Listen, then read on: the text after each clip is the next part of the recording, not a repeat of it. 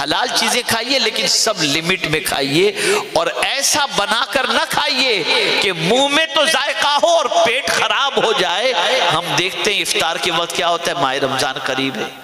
जब तक के दस्तरखान के ऊपर भजिए, वड़े, समोसे, कबाब, ये न हो तब तक क्या हो। दूसरे दिन क्या? यार, पेट में गड़बड़ हो गई है। क्या करो? लेकिन कुर्बान जाइए रहमत आलम सल्लल्लाहु अलैहि वसल्लम की अजमत पर कि इफ्तार के लिए हुजूर ने खजूर को पसंद फरमाया, दूध के प्याले को पसंद फरमाया। इसलिए कि याद रखें, ये जो पेट भूखा रहता है ना, पेट खाली जो रहता है ना, इससे जिगर जलता है अंदर से अंदर से जिगर जलता है। इसलिए कि रोजा क्या है? गुनाहों को जलाता है। रोजा क्या है? ये गुनाहों को जला देता है। और जिस तरह रोजा गुनाहों को जलाता है, इसे जिगर को भी जलाता है अंदर से, जिगर जलता रहता है अंदर से। इसीलिए आप देखें ना, जल, अगर कोई चीज़ जल रही हो तो किससे बुझती है? बोलिए, पानी से ना। तो जैसे इफ्तार का वक्त होता है, भाई पहले पानी दो। एक, दो, तीन, चार गिलास आदमी पी लेता है, क्योंकि अंदर से जिगर जल रहा होता है।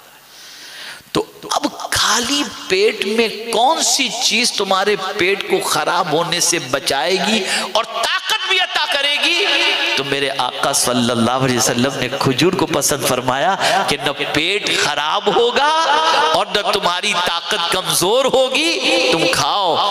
हमने मस्जिद नबवी शरीफ में तकरीबन तीस साल तक कम बेश इफ्तार की है। अल्हम्दुलिल्लाह, मैंने देखा है दस्तरखान पर खजूर।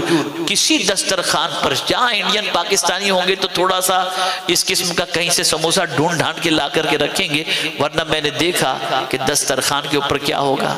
खजूर, नान, दही और पानी या कहवा, बस।